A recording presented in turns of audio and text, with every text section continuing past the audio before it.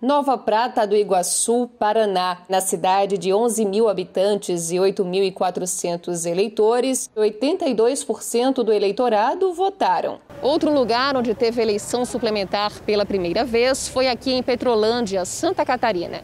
No município, que fica a cerca de 180 quilômetros de Florianópolis, a população voltou às urnas para escolher novos prefeito e vice, porque a chapa que ganhou mais votos nas eleições de 2020 teve o registro de candidatura negado pela Justiça Eleitoral. Petrolândia tem aproximadamente 6 mil habitantes e fica no Alto Vale do Itajaí, em Santa Catarina. A eleição começou às 7 horas da manhã, nas 11 sessões eleitorais. Uma hora antes, mesárias e mesários enfrentaram a forte cerração e os 5 graus de temperatura para deixar tudo pronto. Eu me sinto orgulhosa de poder contribuir nesse papel de mesária. Eu vejo que a urna eletrônica é um processo seguro de votação. Antes de serem usadas, as urnas tiveram os sistemas auditados, ou seja, verificados. Assim que foram ligadas, os mesários imprimiram a zerésima. O documento comprova que a máquina ainda não possui nenhum voto registrado. Quem ia votar ou trabalhar tinha de respeitar todos os protocolos sanitários, como usar máscara higienizar as mãos e manter distanciamento social.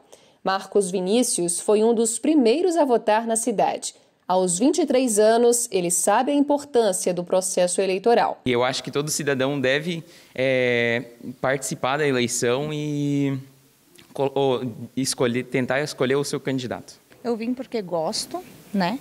E eu acho que a gente tem que escolher alguém que a gente acha que vai ser bom para nossa cidade, né? Ao final da votação, o boletim de urna foi emitido. Ele traz todos os dados registrados na urna, a exemplo do total de votos por partido, por candidato, quantidade de votos nulos e em branco, bem como a hora exata do encerramento da votação. O boletim de urna, que é o extrato do que aconteceu na sessão durante o dia, o resultado, né, ele é publicado na própria sessão eleitoral para dar ampla publicidade ao resultado da votação naquela sessão. Ou seja, é mais um ato de transparência da Justiça Eleitoral, porque ele permite que as pessoas, a partir do, da leitura desses dados, consigam comparar com os dados que nós vamos publicar na internet após a totalização dos resultados finais. Dos quase 5.200 eleitores, 89,5% compareceram às urnas. Nós não tivemos uma única ocorrência que pudesse desagradar o dia de hoje ou chamar alguma atenção para algum, algum fato